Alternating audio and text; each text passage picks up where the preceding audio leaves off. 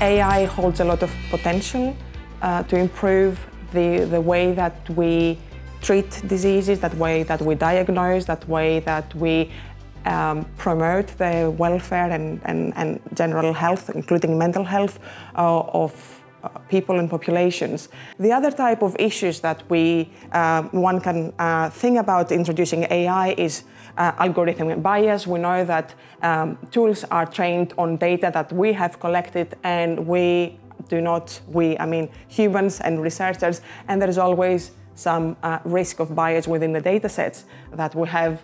And what AI does is amplifying those biases.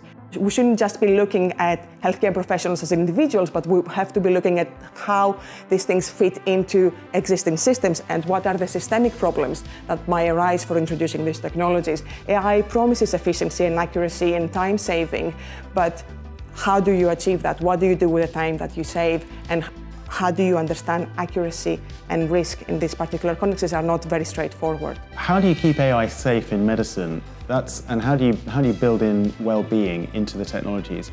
I think, I think that's, that's very exciting particularly for medicine. For example, the technology that uh, we've been working on recently called Drug GPT, which uh, is a large language model to support clinicians and makes recommendations about medicines and identifies adverse drug reactions. And that's a great example of a medical tool that we want to make with AI that's immediately useful for clinicians and which can be proven to be safe.